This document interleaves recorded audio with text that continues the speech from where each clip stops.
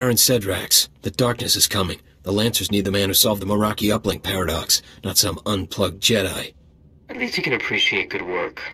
Forget this. I have to get Tharan Cedrax for the job. Master's orders. You could spend days chasing Cedrax. Or hire me now and give my newest weapon to your master. Huh.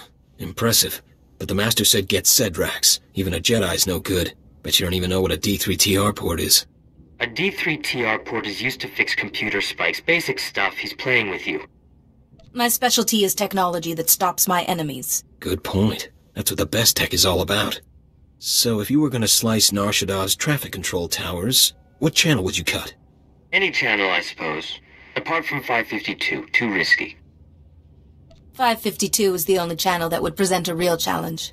Seriously? Impressive. None of my people can crack cartel security. In the name of the Master, the Red Light Lancers and the Guiding Hand welcome you, sister. So, how can a Jedi help the Lancers and the Guiding Hand? The Master wanted Tharan Cedrax for a special job. It'll do for your initiation test. If you live, the Hutt cartel shares a bunch of spice factories with the Empire in the lower industrial sector.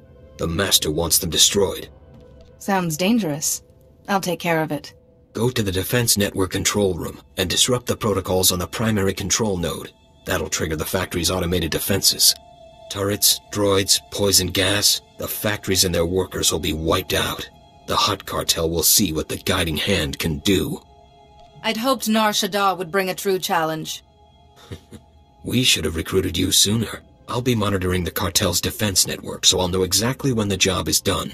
Don't keep us waiting.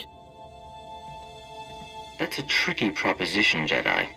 Meet me at my offices. I'll get started on a way to help you.